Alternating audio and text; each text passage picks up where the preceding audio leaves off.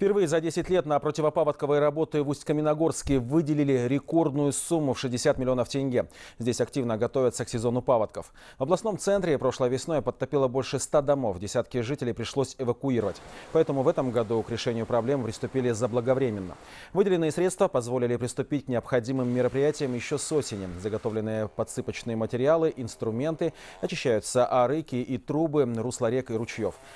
Всего в городе выявлено 22 опасных участка. В большинстве из них работы уже выполнены.